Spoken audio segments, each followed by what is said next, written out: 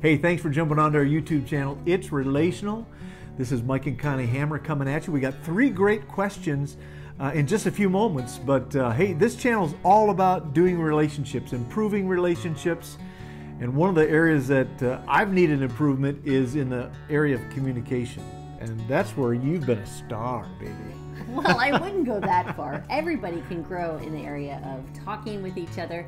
But I have to remember when I was a child growing up, we did a lot of talking in our family. And usually, when there was a topic brought up, my mom was famous to say, Well, let's go around and see how everybody feels Mm. about that. And there were times it was like, Yeah, I don't know. She goes, No, say something, figure out something, put your heart into it. And I think that's where I just grew to um, understand that participation is the best thing you bring to the table. Just the fact that you're willing to share something and um, create it as you go. Yeah, you've had a lot of good habits in that way.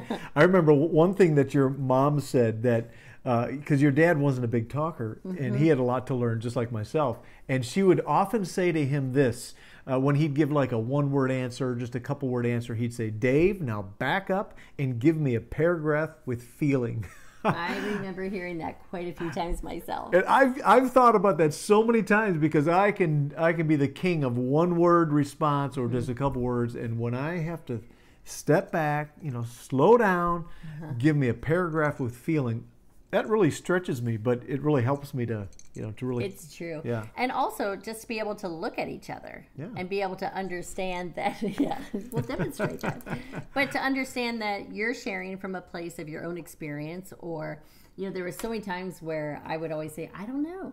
You can ask mm-hmm. me a question, but I don't know. And I'm not making that up. And so we learn to really give each other the space to say, it's okay that you don't know, but let's just stick with this and explore some options. So mm-hmm. then we would begin to talk things through, and many times I would give an answer, and then he would respond, and then I would talk again, and I'd change my whole answer. He's like, "Wait, wait, which side of this thing are you on?" And I'm mm-hmm. like, at, "The more I talk, the more I'm changing the way I feel about it." So I'm an outward processor compared to this guy who is an inside Oh, processor. Gotta think it through first.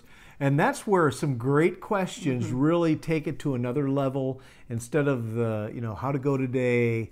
I mean, you don't have to give much of an answer to, to really answer that one word. And so these great questions that we're going to bring to you in just a moment. But listen, if you're new to this channel, make sure that you subscribe right down in this corner, that little button there, uh, and uh, ring your little notification bell like that, and you'll be uh-huh. happy because you'll get all the content coming out each and every week. You'll be glad you did Yeah. because it it means something to the relationships in our lives that we're becoming intentional to say I don't want to just settle for I'm not a good talker. I don't really know my thoughts mm-hmm. or like for me, I don't know. I don't know how I feel about that.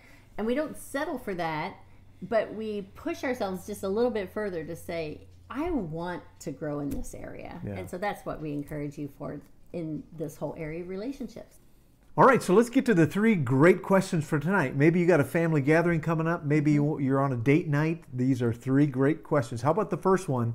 With whom can you talk heart to heart with? Who do you really connect with and you can really talk from the heart with? And it might even be the second part of that question is who do you wish you could talk hmm. heart to heart with and why would that be meaningful to you? Another great question is who has been an influence in your life?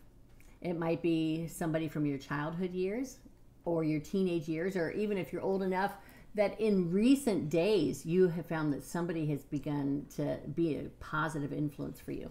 And then why? Why do they get to speak into your life and you have ears to hear what they say? And the last question is this How often do you pretend to be someone that you're not just to please other people? Hmm. That's a scary one. That's a big one.